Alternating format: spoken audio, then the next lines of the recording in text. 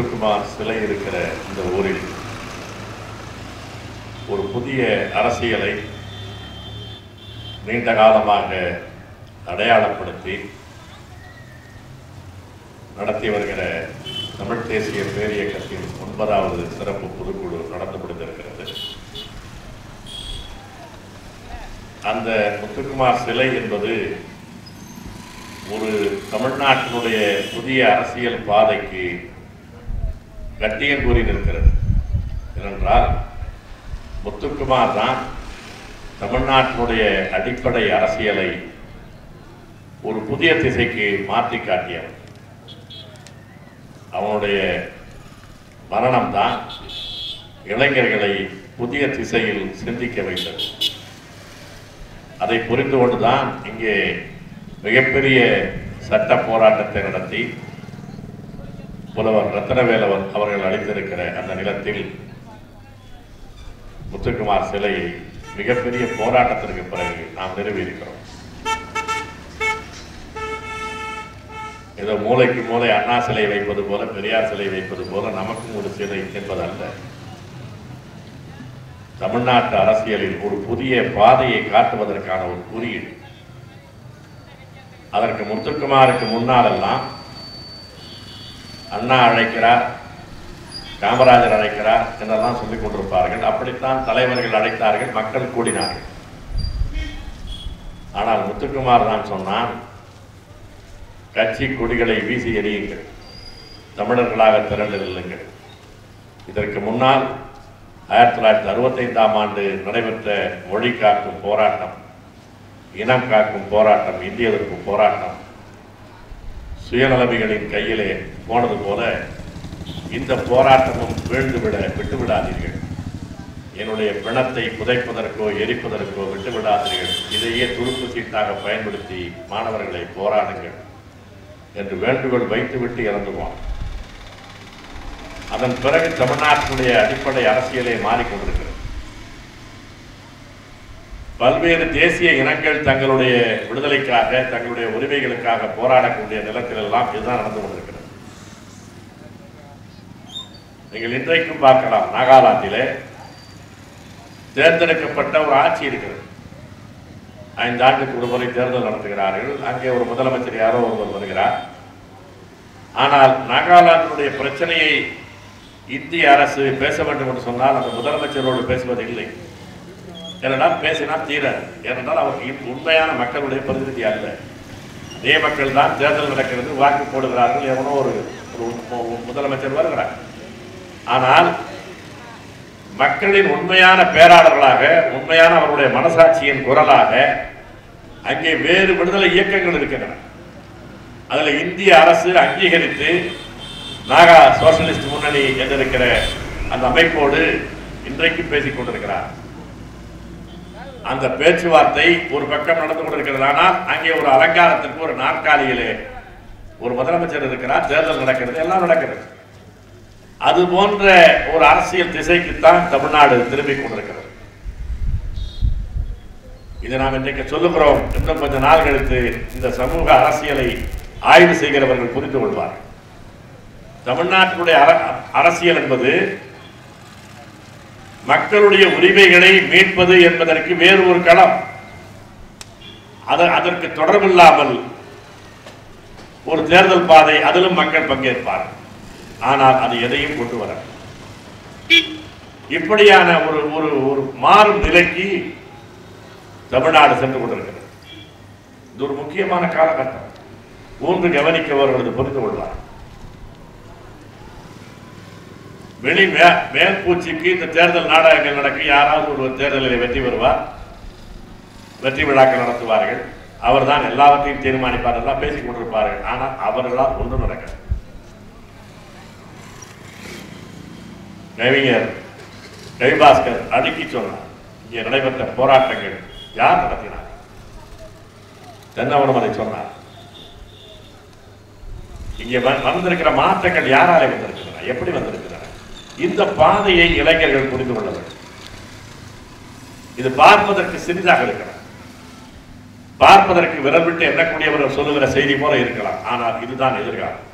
இதை தவிர வேறு எதிர்காலம் இல்லை. இந்த பாதைக்கு வந்தாலே தவிர வேறு எதிர்காலம் கிடையாது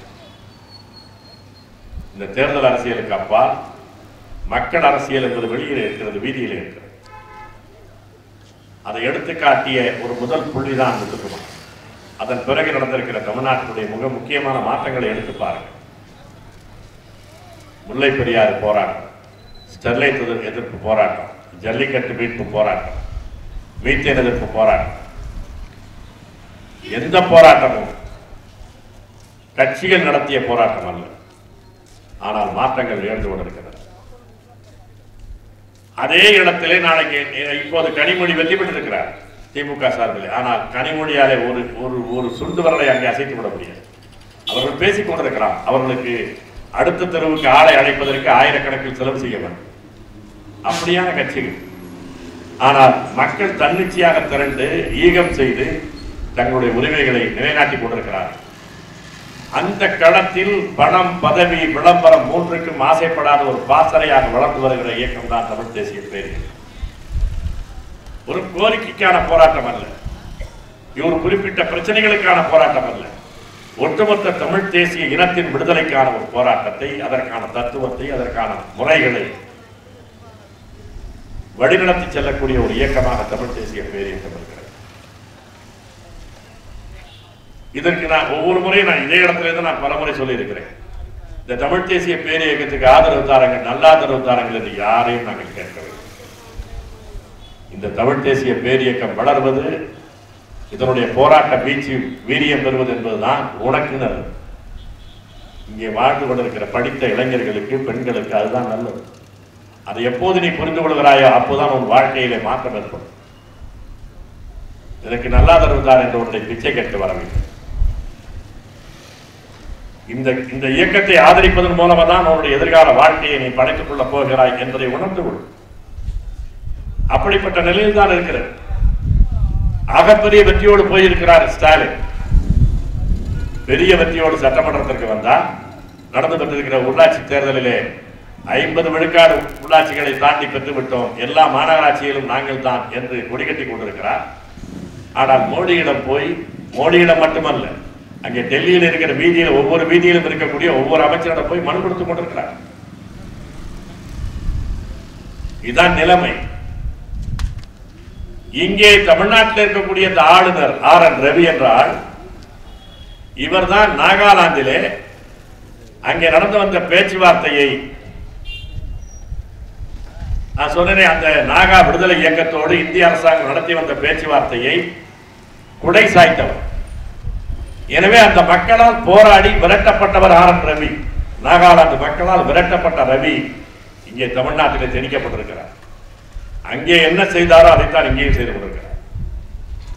ஆளுநர் மாளிகை என்பது ஆர்எஸ்எஸ் மாளிகையாக மாறிவிட்டது. ஆளுநர் அலுவலகம் என்பது ஆர்எஸ்எஸ் அலுவலகமாக மாறியிருக்கிறது. அங்கே இருந்து தமிழ்நாட்டினுடைய சின்ன சின்ன நகர்வுகளுக்கு கூட தடை விதித்துக் கொண்டிருக்கிறார்.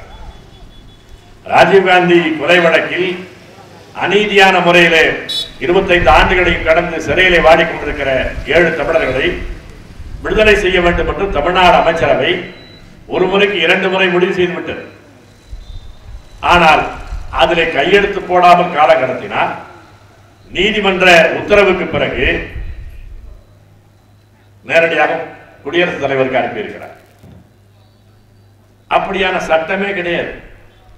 அமைச்சரவை முடிவு செய்தால் அரசமைப்பு சட்ட உறுப்பு நூத்தி அறுபத்தி ஒன்னின் படி கவர்னர் கையெழுத்து போட்டே ஆக வேண்டும். அதற்கு மேலே அப்ளைங் இஸ் ஓன் மைண்ட் என்பதற்கெல்லாம் இடமே கிடையாது. அவருடைய சொந்த விருப்பு வெறுப்புகளுக்கெல்லாம் ஏற்பட்ட ஏற்ப செயல்படுவது என்பதற்கெல்லாம் வாய்ப்பே கிடையாது. சட்டப்படி வாய்ப்பே கிடையாது. ஆனால் ஒரு சட்ட மீறலை ஆளுநர் நிகழ்த்தி கொண்டிருக்கிறார்.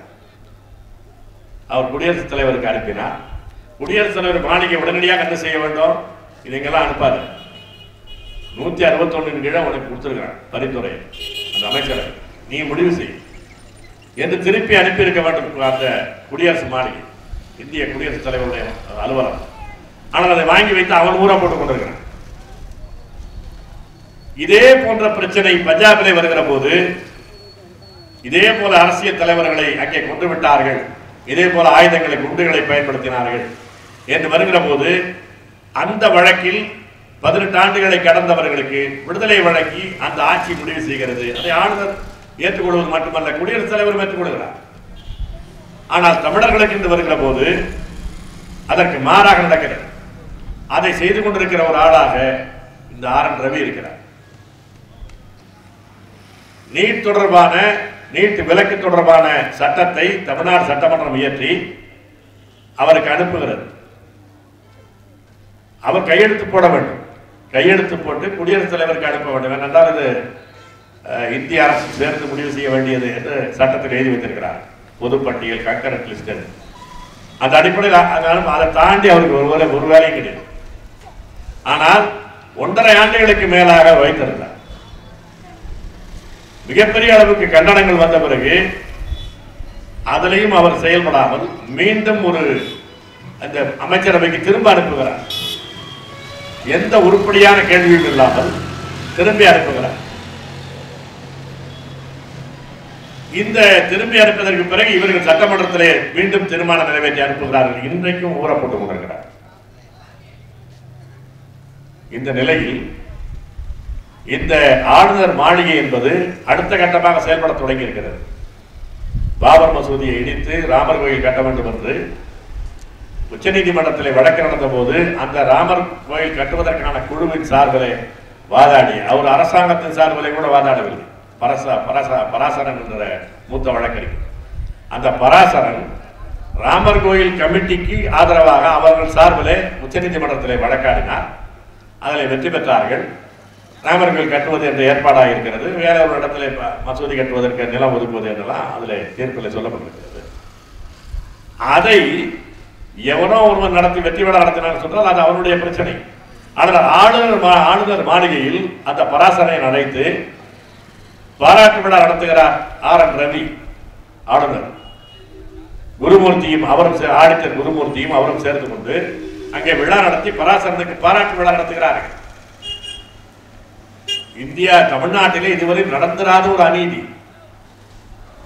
வெளிப்படையாக பாஜகவினுடைய ஒரு அலுவலகம் போல கவர்னர் மாளிகை செயல்பட்டுக் கொண்டிருக்கிறது. கோயம்புத்தூரிலே போய் வேளாண்மை பல்கலைக்கழகத்தினுடைய பட்டமளிப்பு விழாவில் விழாவில் பிராந்திய வளர்ச்சி என்பதெல்லாம் கூடாது அதாவது மாநில வளர்ச்சி என்பதெல்லாம் கூடாது. இந்திய வளர்ச்சி தான் வேண்டும். இதைத்தான் செய்து கொண்டிருக்கிறார்கள் ஒரு பக்கத்திலே தமிழ்நாட்டினுடைய நிதியமைச்சரும் இந்திய தமிழ்நாட்டினுடைய முதலமைச்சரும் புறம்பிக் கொண்டிருக்கிறார் சட்டமன்றத்திலே. இருபதாயிரம் கோடி ரூபாய் இருபது இருபத்தோராயிரம் கோடி ரூபாய் வர வேண்டிய பாக்கி இருக்கிறது. இனிமேல் ஆண்டுக்கு ஆண்டு இருபதாயிரம் கோடி ரூபாய் நஷ்டம் ஏற்பட போகிறது. ஜிஎஸ்டி வரியினுடைய இழப்பீடு இந்த ஆண்டோடு நிறுத்தப் போகிறார்கள். ரெண்டாண்டு முதல்ல என்ன கேட்டார்கள்? இந்த ஜிஎஸ்டி வரி விதிப்பில் இருக்கிற அநீதிகளை எல்லாம் முதல்ல சிங்கம் போல கர்ஜித்தார் இந்த பழனிவேல் அந்த தியாகராஜ் உடனடியாக ஸ்டாலின் உத்தரவிட்டு அவரை அமைக்கி போட்டார். அதன் பிறகு பார்த்தால் இப்போது பழனிவேல் என்ன பேசுகிறார்? I have excellent working relationship with Nirmala Sitharaman அப்படிங்கிற இந்திய நிதியமைச்சர் ஸ்ரீ நிர்மலா சீதாராமனோடு நான் நல்ல உறவோடு இருக்கிறேன். என்ன கணக்கு என்று அவர்கள் புரிந்து கொண்டிருக்கிறார்கள் அப்படின்னு சொல்லிட்டு கடைசியாக சொல்றாரு? இருபத்தோராயிரம் கோடி ரூபாய் பாக்கி இருக்கிறது எல்லாம் ஒர்க்கிங் ரிலேஷன்ஷிப்லாம் இருக்குது. என்னத்திற்காக செய்கிறார்கள்? இப்போது என்ன ஸ்டாலின் அதிகப்படியான கோரிக்கை என்ன? ஜிஎஸ்டி வரியினை எடுத்து செல்வதிலே இன்னொரு நான் இழப்பீட்டை இன்னொரு ரெண்டு ஆண்டுக்கு நீட்டித்து கொடுங்கள். அப்படி ஒரு கோரிக்கையை வைத்துவிட்டு இப்போது வைத்திருக்கிற அந்த பட்ஜெட் முறையில் அப்படி தரமாட்டார்கள். அப்படி இவனு சொல்றாங்க இந்த பட்ஜெட் உரையிலேயே இந்த இந்த ஆட்சியாளர்களை சொல்லுகிறார்கள். ரெண்டு ஆண்டுகளுக்கு நீட்டித்து கொடுங்கள் என்று ஒரு பக்கம் கோரிக்கை மனு அளித்துவிட்டு பட்ஜெட் உரையிலே பழனிவேல் தியாகராஜன் என்ன சொல்லுகிறார்?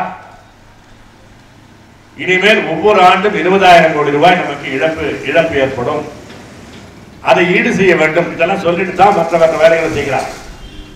என்ன வேறுபாடு? நிர்மலா சீதாராமனுடைய மோடியினுடைய பட்ஜெட்டிற்கும் இவர்களுக்கும் என்ன வேறுபாடு? ஒரு வேறுபாடு கிடையாது. நீங்கள் ரேஷன் கடைகளுக்கு கொடுக்க வேண்டிய பணத்தை ஆயிரம் கோடி ரூபாய் உடனடியாக வெட்டி இருக்கிறார்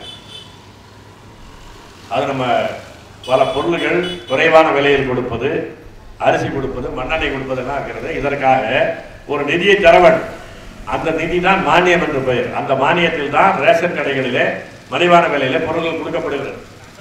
ஒரு பக்கத்திலே மோடி என்ன சொல்லுகிறார்? எல்லோருக்கும் இலவச இது எல்லோருக்கும் நியாய விலை கடை என்பதெல்லாம் வேண்டாம். டார்கெட் அண்ட் டிஸ்ட்ரிபியூஷன் சிஸ்டம் தான் வேணும். யாருக்கு தேவையோ அவர்கள் மட்டும் செய்யுங்கள். தொடர்ச்சியாக பரப்புரை செய்தார்கள். இந்த இலவச கேஸ் இணைப்புகளிலிருந்து நீங்களே நீங்களே முன்வாந்து வெளியிலே வாருங்கள். வசதி உள்ளவர்கள் இலவச கேஸ் வேண்டாம் என்று சொல்லுங்கள் என்று பரப்புரை செய்தார்கள். அவர்களாக யாரும் சொல்லவில்லை. ஆனால் இவர்களாகவே வெட்டத் தொடங்கினார்கள். அதே மோடி மாடலை இன்றைக்கு ஸ்டாலின் மாடல் என்று செய்து கொண்டிருக்கிறார்கள். இந்த ரேஷன் கடைகளுக்கு கொடுத்திருக்கிற பணத்தை வெட்டி இருக்கிறார்கள் இது யாரும் கவனிப்பதில்லை? இது இந்த கூட்டணி தர்மம் என்ற பெயராலே வழக்கமாக மார்க்சிஸ்ட் கம்யூனிஸ்ட் கட்சியுடைய இந்த மாதர் சங்கம் ரேஷன் கடைக்கு முன்னால் ஆர்ப்பாட்டம் நடத்துவது என்பது ஆண்டாண்டு பழக்கம். இப்போது இவர்கள் கூட்டணியில் இருக்கிறார்கள் என்பதனாலே அதை பற்றி அவர்கள் வாய் திறப்பதே கிடையாது. இந்த ஆண்டு ஆயிரம் கோடி ரூபாய் வெட்டி இருக்கிறார்கள் எதிர்காலத்தில் கூடுதலாக வெட்ட வேண்டிய அவசியம் வரும் என்பதை இப்போதே பண்ணி வைத்தார்கள் சொல்கிறார் வருகிற ஐந்து ஆண்டு நான்கு ஆண்டுகளில் ஃபேஸ் அவுட் பண்ணப்படும் என்று சொல்லுகிறார். கொஞ்சம் கொஞ்சமாக குறைக்கப்படும் என்று. அதுபோல இந்த விதவைகளுக்கான பென்ஷன் ஆதரவற்றோருக்கான நிதி இந்த தாலிக்கு தங்கம் எந்திருக்கிற இந்த பணத்தை எல்லாம் வெட்டி அதிலும் ஒரு ஆயிரத்தி ஐநூறு கோடி ரூபாய் வெட்டி இருக்கிறார் அதிலே ஒரு பகுதியை எடுத்து அதை ஒரு வெட்டியது போக மீதி இருக்கிற தொகையில் தான் மாணவிகளுக்கு நான் ஆயிரம் கொடுக்கிறேன் என்று சொல்லுகிறார். இப்படி இந்த இதற்குள்ளாகவே சர்க்கஸ் செய்வது அதை ஏற்றுக்கொள்வது இதைத்தான் செய்து கொண்டிருக்கிறார் ஆனால் வெளியிலே பார்த்தால் இதோ இவர்கள் பிஜேபியை எதிர்த்து அ- இந்த மோடி ஆட்சியை எதிர்த்து இந்தியா முழுவதும் இருக்கிற முதலமைச்சர்கள்லாம் இணைத்து ஒரு சமூக நீதி கூட்டணியை அமைக்கப் போகிறார் ஸ்டாலின் என்பது போல ஒரு படம் காட்டி கொண்டிருக்கிறார் உண்மை அப்படி கிடையாது. இவர்கள் எடப்பாடி அடிமையாக இருந்தது வெளிப்படையாக தெரிந்தது. ஸ்டாலின் அடிமையாக கொண்டிருப்பது வெளிப்படையாக தெரியவில்லை என்பது கொஞ்ச தெரியும். அவ்வளவுதான். ஒரு வேறுபாடும் கிடையாது. சும்மா பேசிக் கொண்டிருக்கிறார். நீங்கள் அப்படி ஒரு எதிர்க்கட்சிக்கான ஒருங்கிணைப்பை ஏற்படுத்தக்கூடிய ஒரு நபர் ஒரு ஆ- ஒரு ஆட்சியினுடைய நிர்வாகம் என்று அல்ல தன்னுடைய திமுக அலுவலகத்தை டெல்லியிலே திறப்பதற்கு மோடியை அழைப்பாரா? அப்படியானால் எதை நோக்கி போய்கொண்டிருக்கிறார்கள் எனவே இவர்கள் திராவிட மாடலும் மோடி மாடலும் ஒன்றுதான் என்பதை இன்னும் கொஞ்ச காலத்தில் வெட்ட வெளிச்சமாக்கி விடுவார் ஆனால் வெளியில் இவர்களுடைய ஜாத்ராக்கள் இருக்கிறார்கள் இவர்களுக்கு முலாம் பூசி முற்போக்கு முகமுடியை மாற்றி மாற்றி விட்டு பேசுகிறவர்கள் வேண்டுமானால் சொல்லிக் கொண்டிருப்பார்கள். நிலவரம் உண்மை அப்படி கிடையாது. மிகப்பெரிய மக்கள் பகை கோட்பாடாக திராவிடம் இருக்கிறது. அதற்கான ஆட்சியாக திமுக ஆட்சி இருக்கிறது. வெறும் திமுக ஸ்டாலின் பிரச்சனை அல்ல திராவிடம் என்பதை அப்படித்தான். நீங்கள் இதை நான் பேசுகிற போது இந்த தஞ்சாவூர்ல இருந்து மெனக்கிட்ட அதுக்கு ஒரு கூட்டம் போடுறேன். மீண்டும் மீண்டும் சொல்லுவாராம். திரும்பி திரும்பி சொல்லுவாராம் திராவிடர் அது சொல்லுகிற ஒரு பேராசிரியர் நம்முடைய நண்பர் தான். அவர் பேசுகிறார். இங்கிலீஷ் படிக்கலைன்னா இது இன்னொரு உத்தரப்பிரதேசமாக இருக்கும் பெரியார் வந்து தான் அதை ஏற்பாடு இதுதானே இதுதானே பிரச்சனையே. இங்கிலீஷ் தான் அறிவின் அடையாளம். இதை படித்தாதான் நீங்கள் முன்னேற முடியும். இங்கிலீஷை ஒரு மொழியாக படிப்பது யாரும் யாருக்கும் பிரச்சனையே கிடையாது யாரும் எதிர்க்கவும் முடியாது நம்முடைய மக்களுக்கும் கூட நம்முடைய பிள்ளைகள் ஆங்கிலத்தில் நல்லா பேசணும் அவ்வளோதானே அதுக்கு என்ன எல்லாத்தையும் இங்கிலீஷில் படிக்கணும்னு அவசியம் இல்லை. இங்கிலீஷை படிச்சா போதும் அவ்வளோதான் இங்கிலீஷை ஒரு மொழியாக ஒழுங்காக படித்தா போதும். ஆனால் உண்மையில் அதற்கான ஏற்பாடு கிடையாது. எந்த பள்ளியிலும் எந்த பள்ளிக்கூடத்திலும் இங்கிலீஷ் சொல்லிக் கொடுப்பதற்கு தனியான ஆசிரியர் கிடையாது. ஆங்கிலம் படித்த ஆசிரியர் யாரும் கிடையாது. கணக்கு ஆசிரியர் இந்த அறிவியல் ஆசிரியர் இப்படி இருக்கக்கூடிய ஆசிரியர்களைத்தான் ஆங்கிலம் படிப்பை அனுப்புவதற்கு படிப்பு சொல்வதற்கு கற்பிப்பதற்கு நியமிக்கிறார். தனியாக ஒரு ஆங்கிலத்தை ஒரு மொழிப்பாடமாக பிள்ளைகளுக்கு சொல்லிக் கொடுப்பதற்கு அவர்கள் பேச வைப்பதற்கு எழுத வைப்பதற்கு பயிற்சி உள்ள எந்த ஆசிரியரையும் அமர்த்துவதில்லை. இன்றைக்கு அதற்கு மேலே என்ன செய்து கொண்டிருக்கிறார்கள்? மோடியினுடைய கல்விக் கொள்கையை வைத்ததுதான் இந்த இல்லம் தேடி கல்வி. இப்போது வைத்திருக்கிறார்கள் இல்லம் தேடி கல்வி. இது தமிழ்ல இல்ல தேடி கல்வி. அவன் எஜுகேஷன் வாலண்டியர்ஸ் சொன்னான் அவ்வளவுதான். இதைத்தான் தமிழ்நாடு அரசு செய்து கொண்டிருக்கிறது. அவன் கொடுக்கிற அதே நிதியைத்தான் இருநூறு கோடி ரூபாய் இந்த ஆண்டும் வைத்திருக்கிறார். போன ஆண்டு வைக்கிற போது என்ன சொன்னார்கள்? இது முறையான கல்வியை பள்ளி சார்ந்த கல்விக்கு அது செ- செலுத்தக்கூடிய பணத்தை ஆசிரியர்கள் அமர்த்துவதற்கான பணத்தை வேறு பக்கம் திருப்பி விடுகிறீர்கள். வெறும் மரத்தடி பள்ளிக்கூடமாக மாற்றப் போகிறீர்கள் என்று சொல்லுகிற போது இது இந்த ஆண்டுக்கு இந்த கொரோனாவிலே பல பிள்ளைகள் பள்ளிக்கூடத்துக்கே வரவில்லை அதற்கான ஏற்பாடு என்று சொன்னார். இப்போது என்ன ஆகிவிட்டது? இந்த ஆண்டுக்கு இரநூறு கொண்டிருவார். அடுத்த ஆண்டுக்கு வரப்போவதுன்னு சொல்கிறார். அதனுடைய பொருள் என்னவென்றால் பள்ளிக்கூடம் என்பது அதன் மூலமாக பாடம் நடத்துவது என்பதை அரசு பள்ளிகளை கொஞ்சம் கொஞ்சமாக மூடிவிடுவது இதைத்தான் மோடியினுடைய கல்விக் கொள்கை சொல்கிறது பள்ளிக்கூட அரசு பள்ளிகளை கொஞ்சம் கொஞ்சமாக மூடிவிடுது இந்த மாதிரி இலவசம்லாம் கொடுக்க முடியாது. கல்வி என்பது பட பணம் கொடுத்து படித்தால் தான் அதனுடைய மதிப்பே தெரியும் என்று பஞ்சாங்க பயிற்சி தான் பேசி கொடுக்கிறார்கள் அதான் அந்த கல்விக் கொள்கை. அதை எதிர்ப்பது போல பேசிய ஸ்டாலின் தான் இன்றைக்கு அதை செயல்படுத்திக் கொண்டிருக்கிறார். இன்னும் கொஞ்ச காலத்திலே அரசு பள்ளிகளே இருக்காது. இன்றைக்கு என்ன நெருக்கடி என்று சொன்னால் பணம் கட்ட முடியாத கொரோனாவிலே பொருளாதார நெருக்கடியில் சிக்கியவர்கள் வேலை வாய்ப்பு இழந்தவர்கள் வேறு வழி இல்லாமல் பண நெருக்கடி காரணமாக அரசு பள்ளியிலே தங்களுடைய பிள்ளைகளை சேர்க்கிறார்கள். எனவே பள்ளி பிள்ளைகளுடைய எண்ணிக்கை அரசு பள்ளிகளில் அதிகரித்து விட்டது. போகிற பிள்ளைகள் அதை சேர்க்கிற பெற்றோர்கள் தானா போய் இங்க ஆங்கில மீடியத்தில் தான் சேர்க்கிறாங்க. இங்கிலீஷ் தமிழ் மீடியத்தில் சேர்க்கறது இல்லை. அப்படி கொஞ்சம் கொஞ்சமாக என்ன ஆகிவிட்டதுன்னு சொன்னால் கிட்டத்தட்ட ஐம்பத்தி நாலு பள்ளிகள் தமிழ் வழியே இல்லாமல் தமிழ் மொழியே இல்லாத அரசு பள்ளிகள் வந்துவிட்டது. அந்த பள்ளிகளையும் கொஞ்ச காலத்தில் மூடிவிடலாம். ஏற்பாடு தான் இல்லம் தேடி கல்வி. ஒரு ஆயிரம் ரூபாய் கொடுத்துட்டு மாதம் ரூபாய் ஆயிரம் ரூபாய்க்கு இந்த மாதிரி பையன் எல்லாம் ஊருக்கு ஊர் இருக்கிறாங்க. எம்ஏ படித்தவர்கள் எம்எஸ்சி படித்தவர்கள் பிஎஸ்சி படித்தவர்கள் வேலை இல்லாமல் இருக்கிறார்கள். அவர்களுக்கெல்லாம் என்ன ஆசை வார்த்தை காட்டுகிறார்கள்? நீ இந்த இல்லம் தேடி கல்வியில் நீ வந்தீங்கன்னா நாளைக்கு உனக்கு பர்மனன்ட் ஜாப் தருவோம். அதுக்கு நான் வாங்கி கொடுப்போம். செய்கிறவர் யார்? மார்க்சிஸ்ட் கம்யூனிஸ்ட் கட்சி ஆட்கள் தான் அதிகம். ஞாபகம் வச்சுக்கணும் இந்த கல்விக் கொள்கையை எதிர்த்து முதல் முறையாக முன்முயற்சி எடுத்து நாம் தான் போராடினோம். தமிழ் தேசிய பேரியக்கம் தான். திருநெல்வேலியிலே பாடங்கோட்டையிலே பாளையங்கோட்டையிலே அதில் இருக்கக்கூடிய அமைப்புகளை பள்ளிக்கூடங்களெல்லாம் இணைத்து வைத்து முதல் முதல் போராட்டத்திற்கான முன்முயற்சி சேர்த்து தமிழ் தேசிய பேரியக்கம் தான் பின்னாலே சிபிஎம் கட்சி பல இடங்களில் அதுக்கான கூட்டங்களுக்கு வந்தது. அன்றைக்கே கேட்டோம் இங்கே தமிழ்நாட்டில் பேசிட்டு இருக்கீங்க பக்கத்தில் கேரளாவோட ஆட்சி நடக்கிறது. அங்கே இந்த கல்விக் கொள்கை எதிர்த்து ஒரு மனு கூட விஜயன் எதுவும் பேச மாட்டேங்கிறான்னு சொன்னதா? இல்லை இல்லை அப்போ நாங்கள் பேச சொல்லுவோம். இங்க இருக்கிற தலைவர்கள் சொன்னார்கள். இன்றைக்கு என்ன ஆயிருக்கிறது? அந்த கட்சி ஆட்கள் தான் இல்லம் தேடி கல்விக்கு ஆட்களை தயார்படுத்துகிறார்கள். நாளைக்கு என்ன ஆக போகிறது?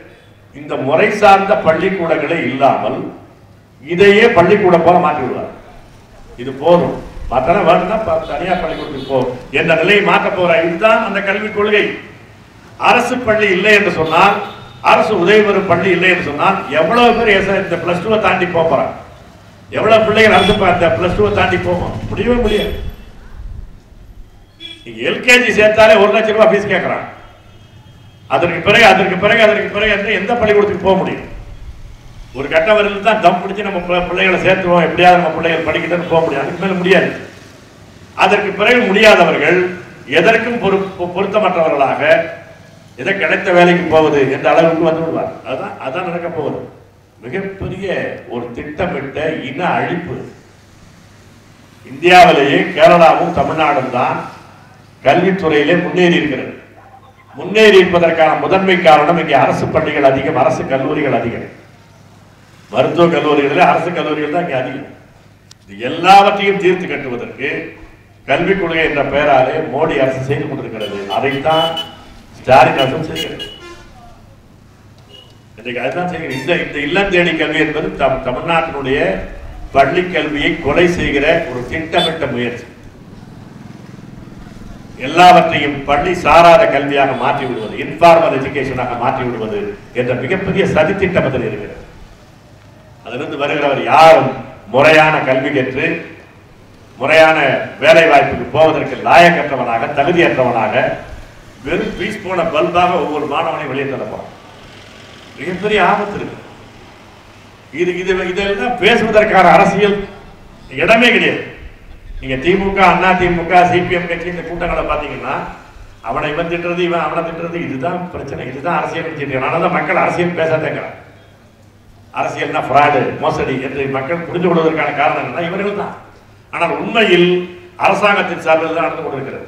இதை சந்திப்பதற்கான திராணியற்ற ஒரு கோட்பாடு ஒரு கொள்கை ஒரு கட்சி என்பதுதான் திமுக. அதற்கான கோட்பாடு தான் திராவிடம்.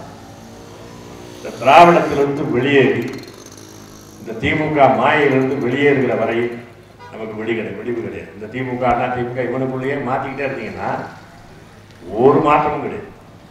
நீங்கள் வேணா எனக்கு தெரியும் இப்போ சொல்லுகிற போது அதெல்லாம் சும்மா சொல்கிறீங்களா நீங்கள் வேறு வழி இல்லை. எல்லாம் தெரியுதுங்க. அவனுக்காக ஓட்டு போடணும்ல அப்படின்னு கையை அடிக்கிட்டு இல்லைன்னு போய் நிற்கலாம் ஆனால் உண்மையில் இதை தாண்டி சிந்தித்தாரே தவிர இளைஞர்களுக்கு வாழ்க்கை கிடையாது. அழித்து கொண்டிருக்கிறார். நீங்கள் எல்லா ஆய்வு நிறுவனங்கள் நிறுவனங்களும் தனியாருக்கு விடப்பட்டு விட்டது. எதுவும் கிடையாது. அவனுக்கு வேண்டியதை தான் படிப்பாக சொல்லிக் கொண்டிருக்கிறார் இதெல்லாம் பல நிகழ்ச்சி நீங்கள் மிக முக்கியமாக கல்வித்துறையிலே வேளாண்மை துறையிலே தொழில்துறையில் மொத்தமாக மூடிக்கொண்டிருக்கிறார்.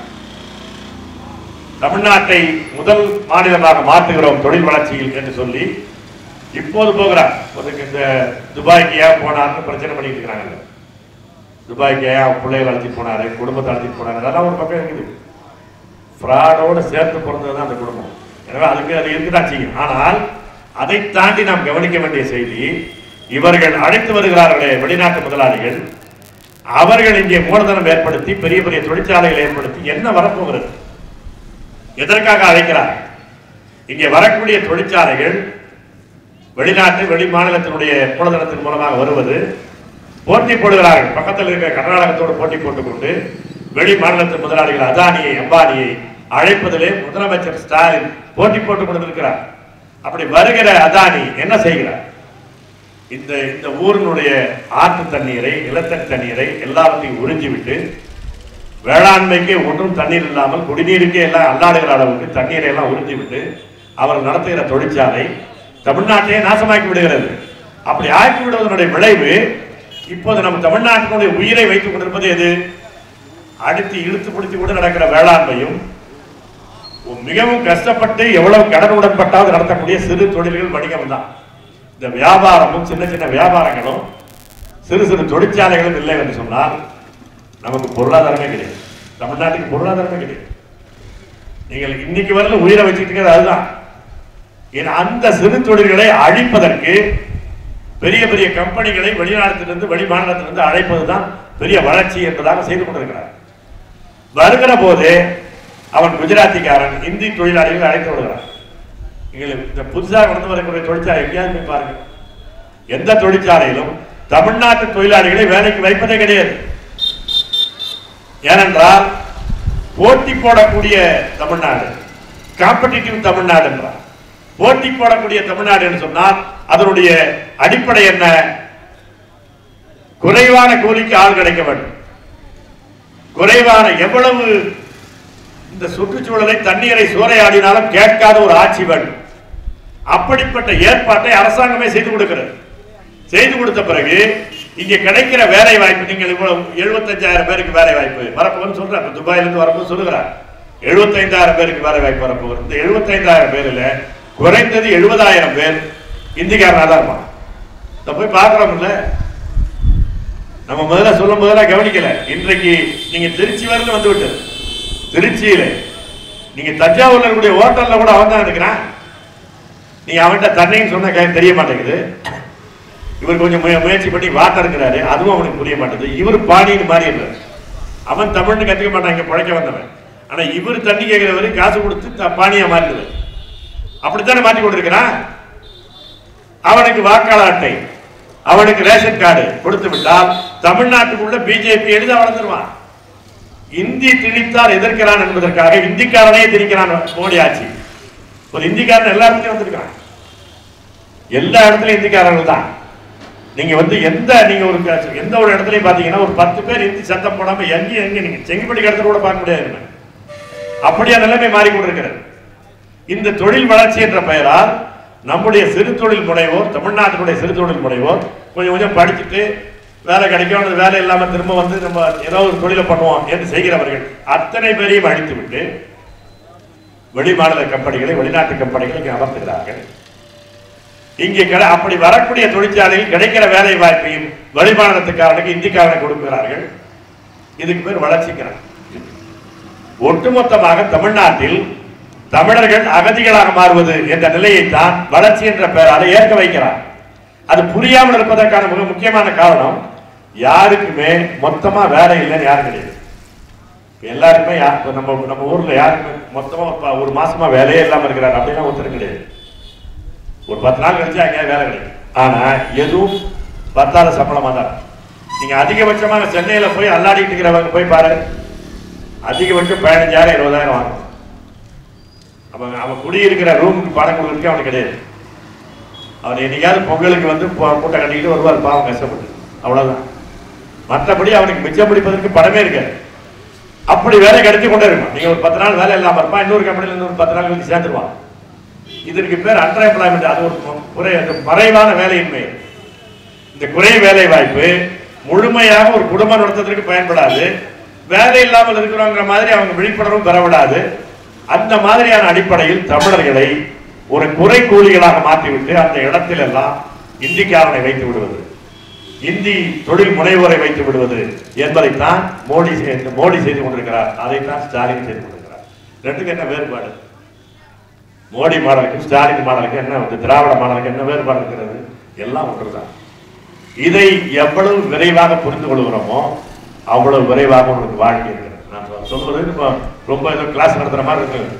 இதை புரிஞ்சுக்கிட்டா உனக்கு வாழ்க்கை உண்டு அவ்வளோதான் இதெல்லாம் இதுக்கெல்லாம் சிரமப்பட்டா எனக்கு எல்லாம் புரியல நான் ஈஸியாக போயிட்டு போனால் சாக வேண்டியதான் இது இந்த இந்த நாட்டினுடைய இந்த மண்ணின் இளைஞர்களுக்கான அரசியலை நாங்கள் பேசிக் கொடுக்கிறோம் பணம் பதவி விளம்பரம் மூன்றுக்கும் ஆசைப்படாமல் இந்த மண்ணை மீட்பதற்கு இந்த மண்ணின் மக்களுடைய வாழ்க்கையை மீட்பதற்காக போராடி கொண்டிருக்கிறோம். இது ஏதோ பாவம் அப்படின்னு போறதுக்கெல்லாம் இடம் கிடையாது. பாவம்னா நீ தான் பாவம் ஆக போற. எங்களுக்கு ஒரு பிரச்சனை கிடையாது. இந்த இந்த இயக்கம் வளரவில்லை என்றால் எங்களுக்கு ஒரு பிரச்சனை கிடையாது. இந்த இயக்கம் வளரவில்லை என்றால் நாங்கள் முயற்சி பண்ணோம் தோத்து போயிட்டோம்னா வருத்தப்படலாமே தவிர இறுதிக்கு மிகுதியான தோல்வி இந்த பகுதியில் வாழக்கூடிய மக்களுக்கு தமிழ்நாட்டில் வாழக்கூடிய இளைஞர்களுக்கு தான். இது எவ்வளவு விரைவில் புரிந்து கொள்கிறோமோ அவ்வளோ அவ்வளவுதான் நம்முடைய வாழ்க்கை. இந்த சும்மா சிகின அரசியலில் போய் பார்த்து கொண்டு வேடிக்கை பார்த்து கொண்டால் நம்முடைய வாழ்க்கையை அழித்து போகும். மிக சீரியஸான பிரச்சனைகள் நாம் எடுத்துக்கொள்வோம் மிக கடுமையான சூழலில் தமிழ்நாட்டு இளைஞர்கள் வாழ்ந்து கொள்கிறோம் அதை புரிந்து கொள்ளும் இது இந்த நிமிடத்திலிருந்து இந்த மாற்று அரசியலுக்கு இந்த புதிய பாதைக்கு நீங்கள் வர தவறினால் இன்னும் நீண்ட காலத்திற்கு ஒரு நிம்மதியான வாழ்க்கையை நீங்கள் இப்படி நடத்திட்டு சொல்லவே முடியாது. மிகப்பெரிய அழிவை நோக்கி நம்மை அடி அடித்து செல்கிறார். இதிலிருந்து இந்த விளிம்பிலிருந்து நாம் மீள மீள வேண்டிய அவசியத்தில் இருந்து கொண்டிருக்கிறோம். அப்படிப்பட்ட ஒரு நேரத்தில் இந்த மேம்போக்கான இந்த ஒரு ஒரு பெரிய படலோபமான அரசியல் பளபளப்பான அரசியல். அதை பார்க்கலாம் எல்லாம் பழைய காலத்தில் நம்முடைய முன்னோர்கள் நம்முடைய பெற்றோர்கள் தாத்தா பாட்டி அப்பா ஆயிரம் முடிஞ்சு போயிட்டாங்க. இப்போது வந்திருக்கிற இளைஞர்கள் இப்போது படித்து வரக்கூடிய இளைஞர்கள் உட்கார்ந்த இடத்துல ஆயிரம் கேள்வி கேட்பான் இங்கேருந்து ஒரு ஊர்வலத்துக்கு வான்னு சொன்னா இந்த போயிட்டு வந்துட்டா காவிரி வந்துருமான்னு கேட்பான் இப்படி இப்படி ரெடிமேடா கேட்கற நீ இவனுக்கெல்லாம் ஓட்டு போட்டுருக்கிய கொடுத்தானா வந்துருமான்னு கேட்டிருக்கியா நீ? அதுக்கு பதில் அவன் சொல்லி தான் ஆயிரத்தி ரெண்டாயிரமா வாங்கி போயிரு. ஐசா பைசா முடிஞ்சு போச்சு. அதுக்கு பிறகு என்கிட்ட பேச. ஆயிரம் ரூபாய் வாங்கிட்டு ரெண்டாயிரம் வாங்கிட்டு இல்லை முடிஞ்சு போச்சு. பேசாதான் இது இதை நீ ஏற்றுக்கொண்டிருக்கிறாய் என்று சொன்னால் அதனுடைய பொருள் என்ன? உன்னை இரண்டாயிரம் ரூபாய்க்கு விட்டு கொடுக்குறா என்றுதானே பொருள்?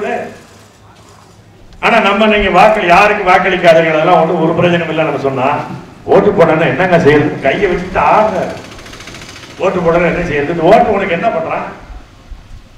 உனக்கே அதனுடைய மதிப்பு என்ன? ரெண்டாயிரம் ரூபாய் தானே? இதிலிருந்து யோசிக்க வேண்டாம். இவ்வளவு காலம் நம்முடைய பாட்டன் கூட்டம்னா இதுலயே இதுலயே போய் வெந்து நொந்து கிடக்குறான்ல. அவர்கள்லாம் படிக்காதவர்கள். நீ தான் படிச்ச ஆளாச்சே. பிகாம் எம்காம் இருக்கிறீங்கள வீட்டுக்கு விடு. இதை பார்க்க மாட்டேத இதை? நீ பார்க்கவில்லை என்றால் நீ படிச்சு என்ன புண்ணியம்? என்ன பண்ண போற? படிக்க படிக்க என்ன ஆகுதுன்னா அதிகாரத்தை அண்டி படைக்கிற அடிமைத்தனம் தான் வளர்ந்துருக்கிறது. படிக்கிறவன் எல்லாம் அதிகம் படிக்க படிக்க எவனாவது ஒருத்தனை டோரை திறந்து விட்டு அவன்கிட்ட ஒரு வேலை வாங்கிடலாமா? அப்படின்னு பார்க்கறானே தவிர வேற ஒண்ணும் கிடையாது. அதிகாரத்தை அண்டி படைக்கிற சுயமரியாதை அற்ற தன்மை என்பது படிக்க படிக்க கூடுதலாகி. படிச்சா சுயமரியாதை வரும் பல பேர் நம்பினாங்க. ஆனா படிக்க படிக்க அண்டி படைக்கிற தன்மை தான் வந்து கொடுக்கிறது ஏனென்றால் நாம் படிப்பது நாம் புரிந்து கொண்டிருக்கிற அரசியல் என்பது வேறு. அதிலிருந்து மீளவில்லை. அதிலிருந்து மீளவில்லை என்றால் உன் வாழ்க்கையை நீ மறு அடி எடுத்து வைக்க முடியாது. பல பேரை பாருங்க சும்மா ஜாலியா சிரிச்சுக்கிட்டு தான் போய் டாஸ்மாகில் போய் நிற்கிறானே தவிர கீறி பார்த்தீங்கன்னா அப்படியே அழுகுறான். ஆனா என்ன வழி தெரியாம இருக்கிறான். தெரியலன்னா தெரிஞ்சுக்க முயற்சி பண்றது. தெரியலன்னா பெரிய பிரச்சனை. அவன் யாரையோ நான் பார்த்து பண்ணல உன்னை பார்த்து நான் பரிதாபப்படல. நீ தெரிஞ்சுக்க முயற்சி பண்ணல நீ சாப்பிட்டா பண்ணணும் தெரிஞ்சுக்க முயற்சி பண்ணணும். படித்த இவ்வளவு படிச்சுட்டு நீ பேப்பர் தான் பேப்பரை திறந்தான்னா எவனாவது ஒரு நடிகை நடிகை பிரச்சனை பார்த்து பார்த்துட்டு இருக்கிறான். இந்த மேட்டூர்ல நீர்மட்டம் என்ன? கிருஷ்ணராஜ் நீர்மட்டம் என்ன? ஒரு பையன் படிக்கிறீங்களா படிக்கலன்னா யாருக்கு நஷ்டம் நமக்கு தானே நஷ்டம் இப்படி இருக்கிற வரையிலும் திமுக அண்ணா திமுக லாபம். என்ன வேணாலும் பட்டு போவான். எனவே இந்த ஒரு மாற்று அரசியலை இந்த தமிழ்நாட்டு மண்ணிற்கேற்ற அரசியலை புதிய பாதையை இந்த பகுதி இளைஞர்கள் சிந்திக்கவில்லை. சிந்திக்கவில்லை என்று சொன்னால் நாம் எதிர்காலத்தை நாமே அழித்துக் கொள்கிறோம் என்று பொருள். அப்படிப்பட்ட சிந்தனையை இந்த நாளில் இருந்தால் நீங்கள் தொடங்கல் என்று இந்த இந்த இயக்கத்திற்கு அப்பால் இருக்கிற இளைஞர்களை நான் கேட்டுக் கொடுக்கிறேன்